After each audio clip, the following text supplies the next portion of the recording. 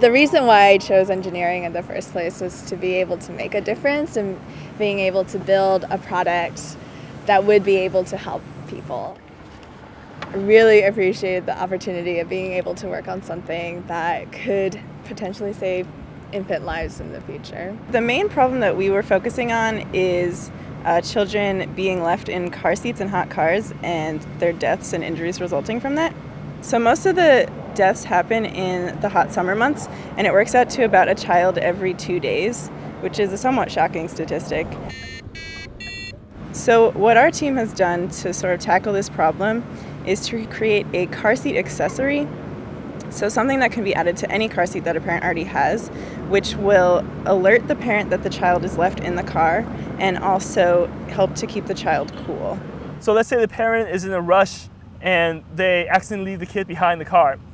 Um, our, our infant device will know that there's an infant in there with a weight switch and tactile switch that detects the present. And once the temperature rises high enough, then it's going to go in activation mode. Activation mode, the first thing that happens is that the LED will flash and there will be a sound alarm that tells the parents, hey, you left your kid here, please come back. If they don't respond immediately, within five minutes, the system would send out text alert to the parents and it would constantly text the parents until they come back and disarm the system. If the parents doesn't respond within 15 minutes, we'll go to secondary contact. And again, we would do as much as we can to get as many people and hopefully even passerbyers who see the LED will respond as well. The benefits of our project is that we have not only an alerting system, but we also have a cooling system. So this is a cooling material itself.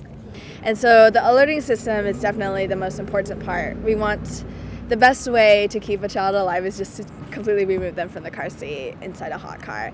But if the parent doesn't ever come back, then we need to ensure that the baby can be kept cool until help arrives. And so we have incorporated a cooling system as well. It's passive cooling with uh, something that's completely rechargeable. It's actually a carbohydrate that melts and changes phase and actually absorbs heat from the environment and from the baby.